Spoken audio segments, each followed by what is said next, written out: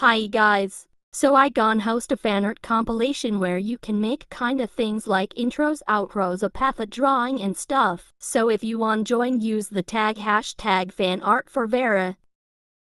If you want make a path or drawing my user is Vera and my display is V3 raw so you can see how my avatar looks like.